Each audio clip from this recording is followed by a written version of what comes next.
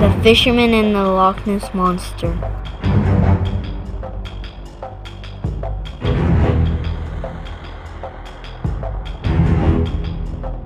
The Loch Ness Monster was at sea.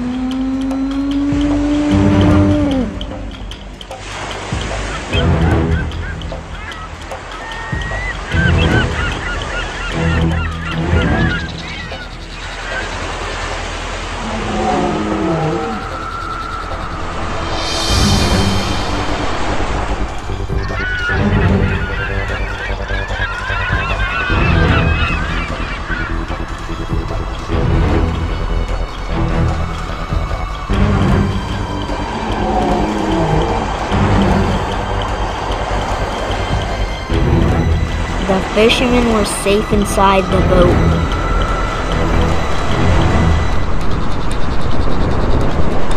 But the monster pulled them under the water.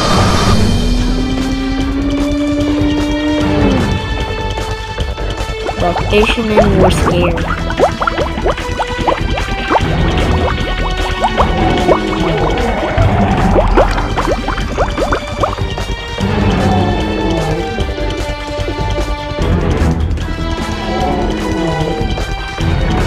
The Loch Ness Monster bit the line in two.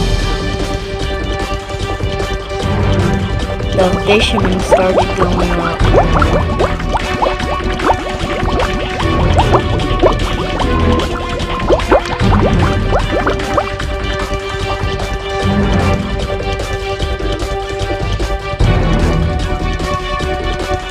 The fishermen cast the net and caught the Loch Ness Monster.